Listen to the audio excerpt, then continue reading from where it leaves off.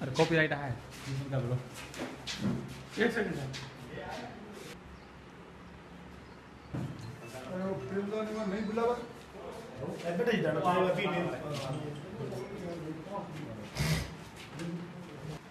ए ती मोर गिरा कर कराओ। ग्राम सेवक नाम ये सारे ये हमारे यहाँ के बेटे मैंने कहा, सरकार में है, एमएलए, उनका घेराव करो यहाँ, हमारा करने से क्या फ़ायदा हुआ तो हड़ताल पे बैठे हैं ना आपके सारे ग्राम सेवक वगैरह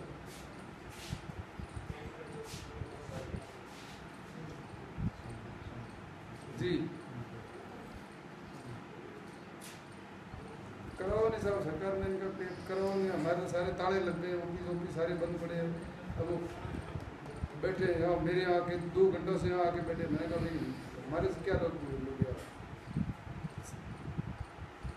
कराओ कराओ साहब ये पूरे राजस्थान का यही हाल है। सभी किस्म के संतोष है सारे कर्मचारी, रोडवेज़ देखो, पंचायती राज देखो, चाहे हर जगह देखो, ये सरकार के विरोध में ही खड़े हुए और सारे कार्यालय बंद पड़े काम काज पब्लिक का ठप्पड़ा है और धरने पे बैठे हैं।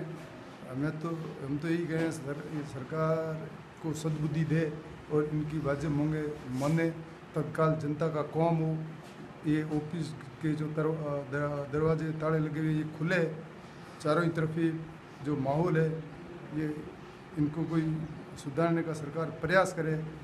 मैं तो यही कहना चाहूँगा, और अभी हम कुंदीलाल मीणा जी से ही बात हुई तो कि हमने तो हम प्रयास तो कर रहे हैं आगे फ़ाइल भेजी है, पर अब इनको सदबुद्धि दे और इनकी बात मांगे सुने ताकि जनता को जो परेशान हो रही है, उससे बच सके।